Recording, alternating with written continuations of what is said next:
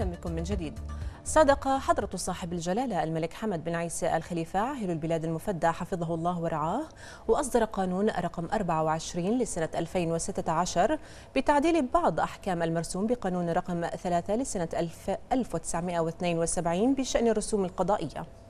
وجاء في المادة الأولى من القانون أنه يستبدل بعنوان الباب الثالث تعديل الرسوم القضائية والإعفاء منها من المرسوم بقانون رقم 3 لسنة 1972 بشأن الرسوم القضائية.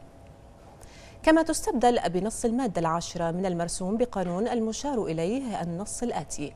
تحدد فئات الرسوم وتعدل بقرار من وزير العدل بعد موافقة مجلس الوزراء بما لا يتجاوز 3% من قيمة المطالبة المالية التي يزيد مقدارها على 3000 دينار.